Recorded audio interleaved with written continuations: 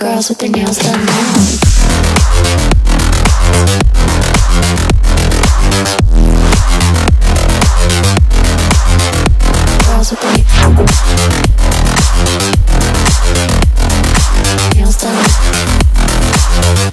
Girls with their nails done.